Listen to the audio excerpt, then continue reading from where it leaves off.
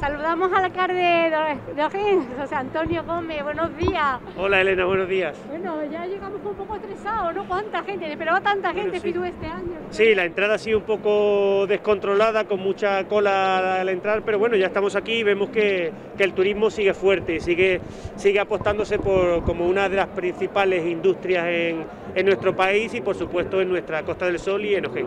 El turismo es importante, lo estamos comprobando en la feria que está pues a tope, llena de gente y, nosotros con mucha ilusión de presentar pues con la oferta turística que traemos este año, que es todo nuestro entorno, nuestro sendero, nuestro Tajo Negro, el programa Venta Vivir un Pueblo, que se ha puesto de manifiesto con nuestra pandemia, la vida en los pueblos, como, como es, el atractivo que tiene y, ya digo, con muchas ganas de, de seguir potenciando el turismo en nuestro pueblo.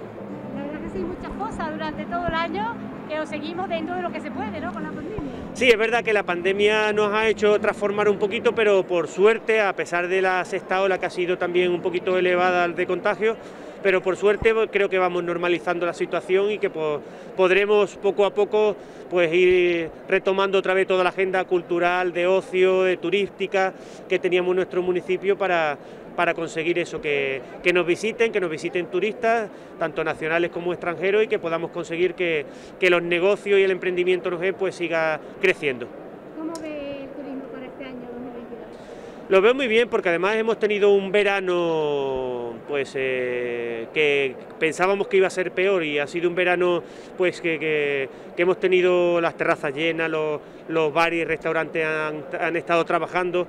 Después de un año ya de parón que te llevaban con la pandemia y que nos, como decía antes, nos hace pensar que, que el turismo este año en el 2022 va a ser bueno, que, que vamos a conseguir otra vez niveles de turistas como los que teníamos antes de la pandemia y que vamos a seguir creciendo. Eso es bueno para dinamizar, para traer riqueza y economía a nuestro pueblo, a toda la Costa del Sol, porque al final con la cercanía que tenemos, pero además también con la, con la denominación de Parque Nacional que fue este año pasado, eh, creemos que va, vamos a tener mucho más turistas también de naturaleza, tu, tu, turistas que miran la ruta, senderos, y por eso traemos esa oferta turística, para potenciar ese sector de, del turismo que es el turismo de naturaleza, que, se compatibiliza muy bien con el turismo que tenemos de sol y playa de la costa, que, hace que, la, pues la, estacionalidad que tenemos en la costa se pueda suavizar un poco más con el turismo de naturaleza y nosotros queremos potenciar ese entorno natural, esa riqueza paisajística, de, pues de, todo lo, eh, lo, que nos rodea, que hace que seamos únicos en el mundo y que, invitamos a todos los que nos vean a visitarnos. Gracias a vosotros.